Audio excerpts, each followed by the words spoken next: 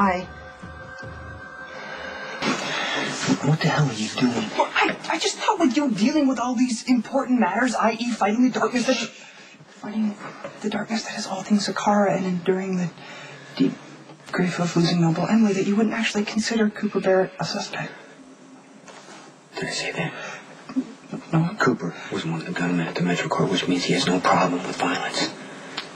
And if it turns out Cooper killed Emily, pay. I, I could look over there. No, I got it. Can I just hold the flashlight? No, you can't. No, don't touch. I'll call the police. And tell them what? That Stone Cold, through his diligence and knowledge, uncovered a very important piece of evidence. By illegally breaking and entering into a police person's private residence. How many people in Port Charles own black leather gloves?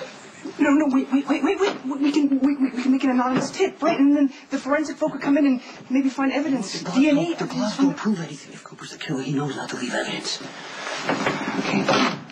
Maybe I've lost some of my objectivity due to, due to my zeal in, in finding your sweet sister's dastardly killer. Probably better if you just left. Spinelli. Stay clear here. From now on.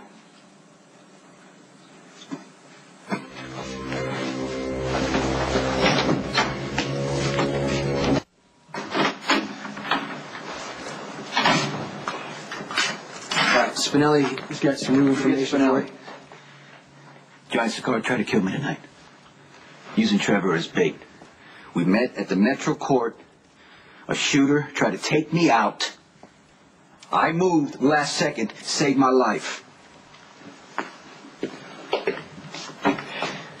Is it possible Trevor set the trap himself? I don't care if it was Johnny or Trevor using Johnny as bait. Kid has to die. Sonny, if, if we kill Johnny, Trevor's just going to find somebody else to be his You're puppet. not listening. Kate just about walked into the line of fire. Thank God she tripped. I went to help her.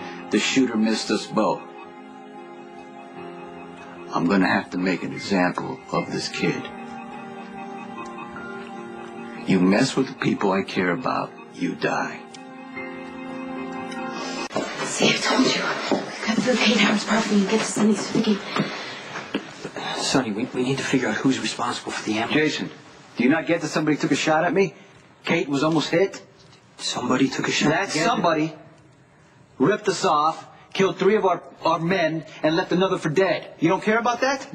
I'm just saying we don't we don't know if it was Johnny. Well, we know it was Zacchara family business.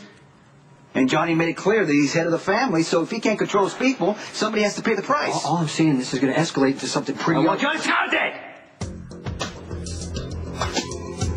Make it happen. Do what you gotta do. And if anybody gets in the way, you kill them too.